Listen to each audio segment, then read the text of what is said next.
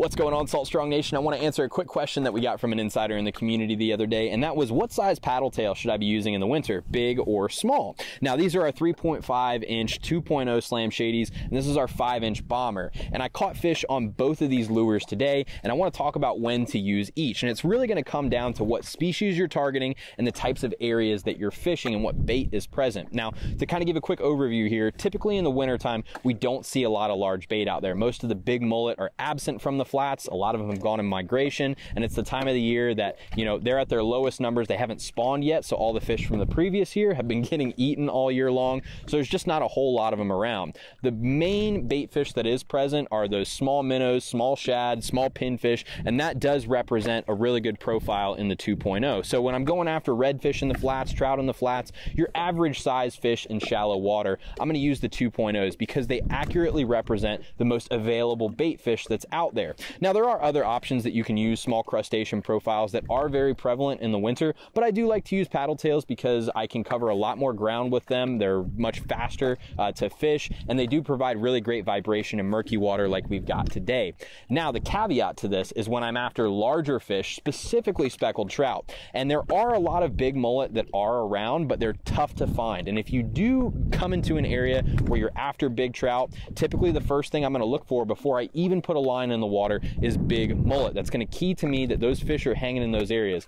Big fish need big meals. Now, this isn't necessarily the case with redfish. I caught a overslot redfish on this 2.0 today, but I would not have thrown the bomber at these redfish, but I was throwing them for the trout. Again, I was seeing a bunch of hog leg mullet jumping around, the really big guys, seven, eight inch mullet, and this is going to accurately represent the, the meals that are available to those big trout. That's what they're after, big mullet or even a small trout. Uh, they are cannibalistic, so that's typically when I'm going to use these five inches in the winter. Really, almost when I'm after those speckled trout. That's pretty much the only exception that I'm going to use, but it does come out of my box a lot because I love to target speckled trout.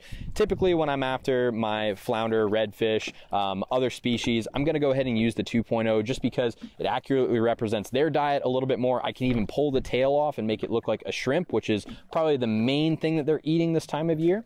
Uh, but there's a lot of different opportunities for you to use both of these baits, and they both can work extremely well. So I just wanted to clarify that for you guys. I hope you guys enjoyed this tip and I hope you get a chance to get out and use these baits. These are in our 11 and 1 lures package. Uh, you can get both of these lures and a combination of several others for just one cent if you visit us at 11luresfor1.com. Uh, these are awesome, and I definitely recommend you guys try them out. And if you're not already an insider, definitely recommend you do that because you do get a discount on both of these baits if you are already an insider. Uh, and plus tons of other really great knowledge that we've got in the community about becoming a better inshore angler. Uh, so definitely join us in the Salt Strong Insider Club, and thanks again for watching. And if you're new to Salt Strong, just know that we're the number one online fishing club in America because we actually guarantee we're going to help you find and catch more fish, save money on tackle, and make friends fast, or it's free. So we hope to see you in the Salt Strong Insider Club soon, and thanks again for watching.